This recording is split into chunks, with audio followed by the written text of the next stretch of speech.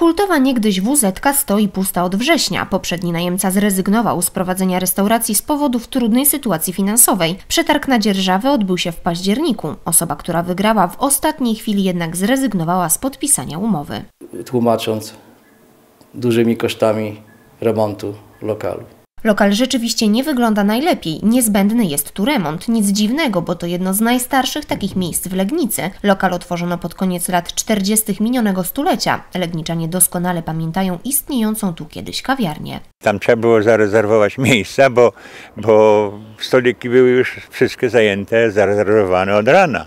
Były bardzo dobre lody, kremy były bardzo dobre, kawa. To były dobre, dobre czasy. Mieszkańcy miasta chcieliby, żeby do tego miejsca wróciła kawiarnia z prawdziwego zdarzenia, koniecznie pod taką samą nazwą. W lokalu jednak można prowadzić nie tylko działalność gastronomiczną, ale także usługowo-handlową. Może być tam wszelkiego rodzaju usługi, handel, a więc na przykład apteka, chociaż ja chciałbym, żeby tam jednak y, była nadal lokal gastronomiczny, który by y, uwzględniał tą całą historię tego lokalu. O tym, czy Legniczanie pójdą tam na kawę, czy na zakupy, dowiemy się 15 grudnia. Wtedy zakończy się kolejny przetarg.